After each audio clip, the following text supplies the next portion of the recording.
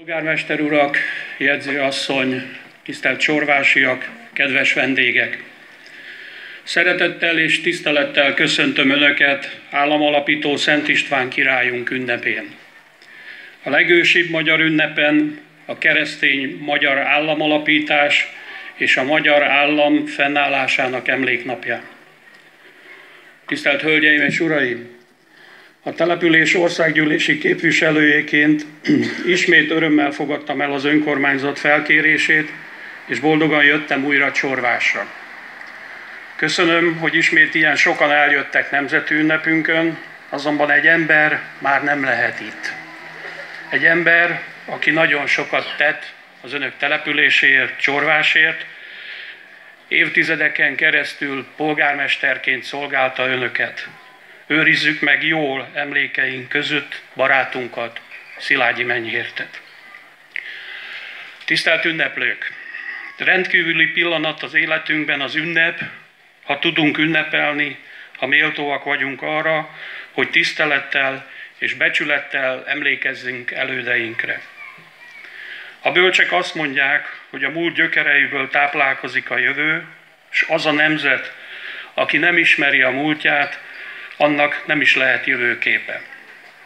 Ma, augusztus 20-án államalapító királyunkra, Szent Istvánra emlékezünk.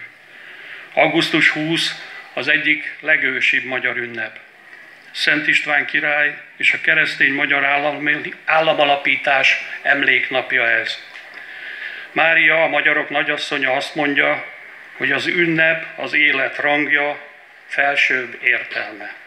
És azt tanácsolja, hogy készüljünk rá testben és lélekben.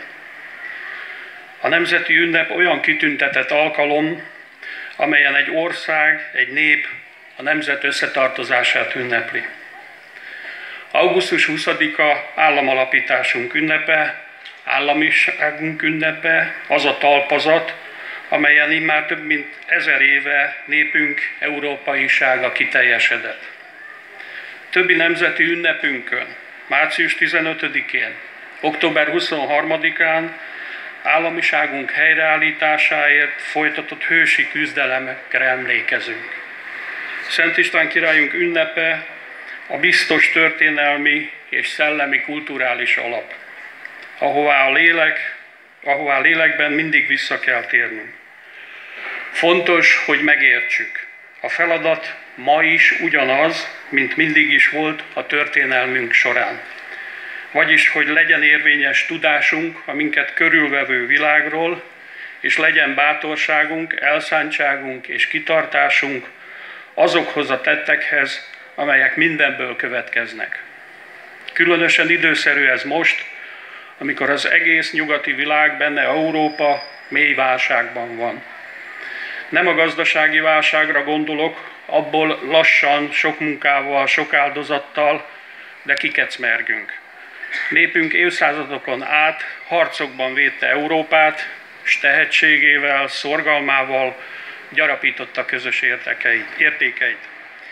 Most az európai kultúra is veszélybe került, és akármilyen kicsinyek is vagyunk, újból harcolnunk kell érte. Nekünk nagy királyunkhoz hasonlóan a lényeget kell felismernünk, erről kell beszélgetnünk. Tisztelt Csorvásiak! Magyarország geopolitikai helyzete, vagyis a fekvéséből, elhelyezkedéséből következő szerepe ezer éve nem változott. Ma is két világ határán vagyunk, a nyugat és a kelet határán. Hol híd vagyunk, hol végvár. A történelmi szerepünk ma újra ahhoz hasonló, amit Szent Istváni időkben volt. Magyarország akkor is, ma is a keresztény Európa őrvidéke, a keresztény Európa végvára. Védtük Európát a tatártól, a töröktől, mikor kitől kellett. Most megint ilyen történelmi időket élünk, újra Európa és meggyőződésünk, hitünk szerint a keresztény világ végvára lettünk. Az a milliónyi illegális bevándorló, amely délről, keletről felénk igyekszik, és rajtunk keresztül Európa felé tart teher számunkra. Teher, amelyet a vállunkon cipelendő, vagyis azt szeretnék, ha a vállunkon hordozzuk. Tisztelt Hölgyeim és Uraim! Az a kérdés, hogy bírjuk-e ezt a terhet. Amit, ezt a, amit ez a modern népvándorlás ezer év óta ránk ró. Van-e erőnk a többi országnyi ember terhét cipelni vállunkon? Erre a kérdésre kétfajta válasz létezik. Egy szép, meg egy igaz. Azok, akiknek, akiket nem nyomaszt az ország vezetésének terhe, azok, akik nem viselnek felelősséget a tanárok, az orvosok fizetéséért, a családok támogatásáért, a nyugdíjért, az emberek, a családok, a vállalkozások tulajdonjáért, az ország közbiztonságáért. Egy szóval azok, akik megengedhetik maguknak, hogy csupa szépet mondjanak, azt mondják, hogy persze, jöjjenek.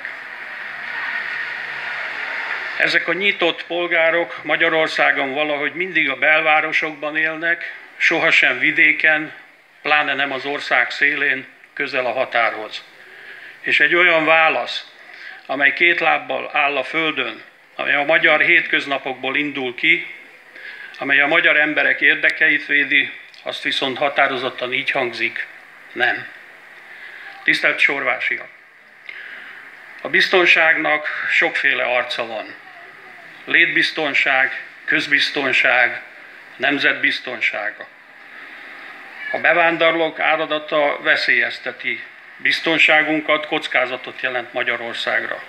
Innen, Békés megyéből, Csorvásról nézve elképzelhető, hogy az emberáradat csak a termést viszi el a kertből, és talán egy biciklit a ház elől.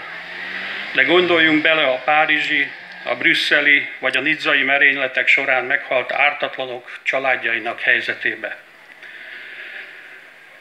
A magyar kormány álláspontja szerint csak a magyarok döntetik el, hogy kivel szeretnének együtt élni, és kivel nem.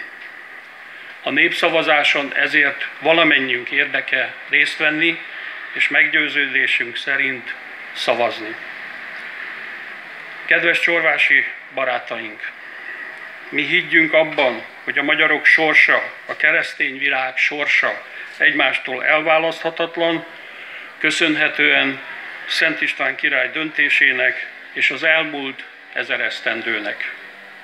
Ünnepi köszöntősképpen azt kérem a város polgáraitól, hogy legyenek hűséges őrzői és képviselői István király intelmeinek, amelyek nélkül ma, ezer év múltán sem állhat fent sem erős haza, sem szerető család, sem boldog ember. Isten éltesse Csorvás minden polgárát, és köszönöm megtisztelő figyelmüket.